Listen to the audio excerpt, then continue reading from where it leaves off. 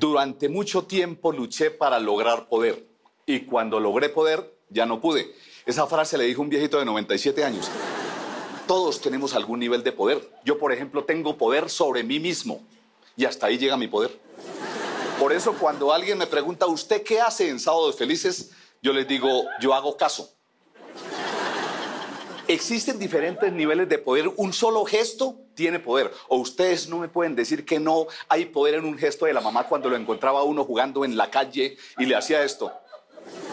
Con ese gesto significaba se acabó el juego, se acabó el tiempo, se acabó el permiso, se entra, cierra la puerta, se acuesta, me apaga la luz, se me presenta mañana a las 6 de la mañana y eso se cumplía al pie de la letra. Eso sí es el ejercicio auténtico del poder.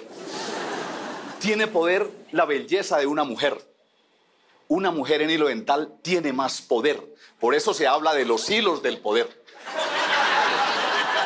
Tiene poder una empleada del servicio, empezando porque ya no se llama empleada del servicio, sino asesora en asuntos domésticos internos. Eso ha cambiado totalmente. Ellas ejercen el poder a las mil maravillas. A mí me da pavor cuando sale la asesora en asuntos domésticos internos de mi casa con esa cacerola en la mano. Me dice, don Heriberto, los huevos revueltos o fritos. Yo digo, yo los quiero duros. Dice, hmm, no está ni tibio. Esa es la forma de ejercer el poder. De ahí viene la famosa frase esa que dice que tienen la sartén por el mango. Desde allá viene. Yo pienso que las personas o los profesionales que menos tienen poder en el mundo son los humoristas. Porque cuando van a una orden todo el mundo piensa que está mamando gallo. Es por eso que uno, por ejemplo, yo le dije a mi hijo, puede salir pero se me presenta aquí antes de las 10 de la noche. Dijo, yo no le veo chiste a eso, papá. Esas son las cosas que uno tiene lo que pone, pero tienen poder los jugadores de fútbol. No por el poder económico, sino el poder de verdad por la influencia. Ellos tienen poder, por ejemplo, para conquistar. El famoso jugador de fútbol, Ronaldo, consiguió una chica, la conquistó, tuvo un hijo con ella, lo demandaron por alimentos, le salió caro ese tiro libre.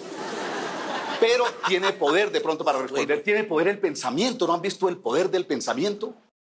Una señora se acercó y me dijo, me gusta el humor que usted hace porque lo pone a pensar a uno. Yo le dije, gracias, señora Moyama. Le dijo, uno se pone a pensar a este tipo, ¿quién le dijo que era humorista? Esas son las cosas que uno ve.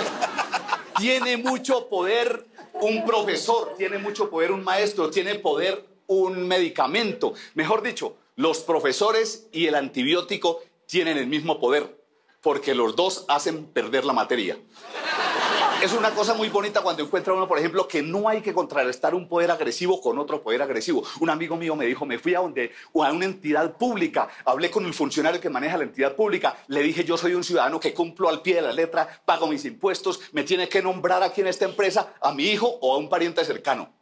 El tipo le nombró la madre. Sí, la semana pasada se posesionó la señora cumplió, pero esa no es la forma de lograrlo. Y en eso, un poder que me llama bastante la atención es el poder que tienen las esposas para definir ya. Las señoras tienen una definición auténtica del poder. Le dice, le dice mi amor, ¿será que esta semana vamos a comer alguna parte para que no tengas tanto trajín en la semana? Y dice, ah, comer por fuera, qué belleza. Tendremos mucha plata el magnate este, después entre semana anda pidiendo para el bus. Entonces no tengo para, para, para equilibrar, le dice, mi amor, ¿será que entonces yo traigo un pescadito y lo preparamos aquí en familia? Claro, como tiene la manteca ahí todo el tiempo. No es manteca, es una esclava. Y entonces uno dice, busque un punto medio, el justo medio, como decía Aristóteles. Y uno dice, ¿será que pedimos un domicilio? Ah, ¿será que se le daña la honra si va por el pollo hasta el asadero qué? Esas son las cosas.